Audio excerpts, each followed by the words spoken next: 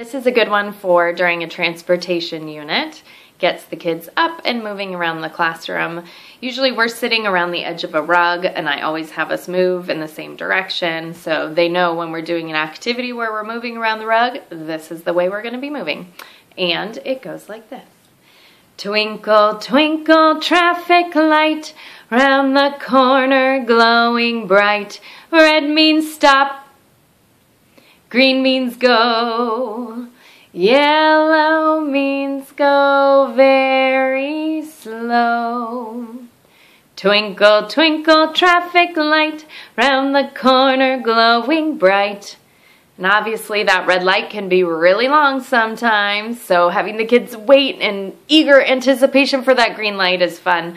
Um, also during the um, twinkle, twinkle, traffic light. I have us marching, and sometimes I'll pick up the pace a little bit. Okay, this time the whole pace is going to be faster. Let's pick up the tempo.